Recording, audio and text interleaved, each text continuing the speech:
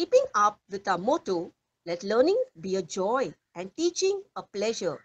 Here we are with a remote teaching and learning process to bridge the gap. Happy learning, students. A warm welcome to the shining stars of Thakur Vidya Mandir High School and Junior College. Today we are going to study subject EVS 1 Standard 4 Lesson number 3 Storage of Water Part 1 Hey kids! Today we are going to begin with the lesson. But before beginning with the lesson, let us learn the important factor of this chapter. So here you are going to answer it. Who am I? Let me read it for you. I go solid in freezers. In rivers I can flow. My chemical formula is known as H2O. Any guess students? Let me give you a hint. Yes, you are right. It's the water. As water is very, very important for all the living things to survive.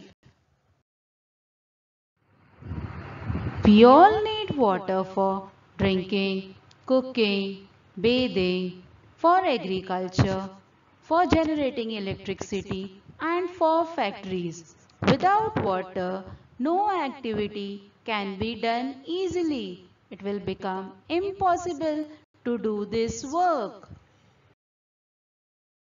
If there was no water on the earth, no living things will survive. They all will die. This is shown clearly in the picture. On your left hand side you can see the greenery, the wildlife and the lavish green earth. On the other side, if there will be no water, the condition of the earth will become worst. Greenery is very soothing for eyes as we have to keep our environment green. For that we require water. But where do we get this water from and what is the main source of water? Yes kids, you are right. It's the rain. Rain is the main source of water and because of rain, the water gets collected in different water bodies. Let's see further. Students, before learning the sources of the water, let's do an activity.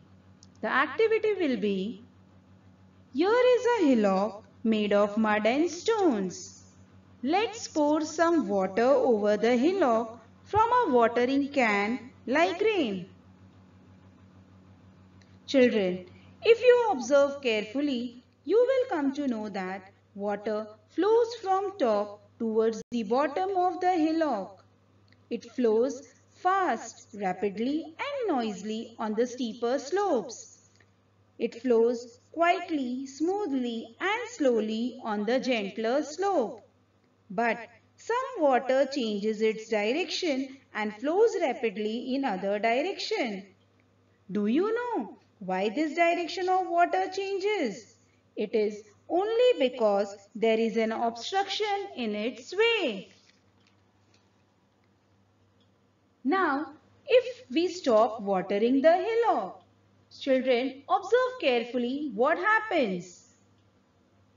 As we stop watering, the surface of the hillock starts drying. This is because the process of absorption stopped and the water seeped into the hillock. The stone part of the hillock dried quickly. The mud part of the hillock took long time to dry. This is because more water was seeped into the mud. So it takes long time to dry. While doing this activity, you might have noticed that rainwater seeps into the soil and reaches a layer of solid rock. It collects here as groundwater, whereas some water comes out to the surface as springs. Some of the water slides off or flows away over the ground as surface water and fills ponds, lakes, rivers and seas. Children, now let's go through the water bodies. The first water body that we are going to see is the pond. A small depression in the ground in which water gets collected is called as a pond. The next water body is the lake. A lake is a very large natural depression in which water gets collected. The next water body is the stream. A continuous flow of fresh water over a naturally formed bed is called a stream. The next is a spring. Water coming out of cavities in the soil, rocks or mountains is called as spring. The next water body is the tank. This tank is not natural but we have to create it by making the use of stone. A large depression dug to collect and store water is called as tank. The next is oceans. Oceans are very large salt water bodies.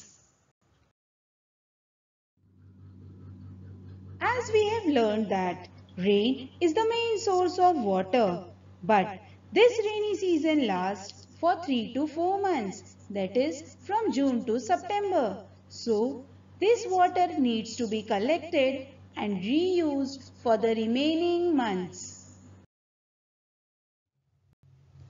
As almost three-fourths of the earth's surface is covered with water.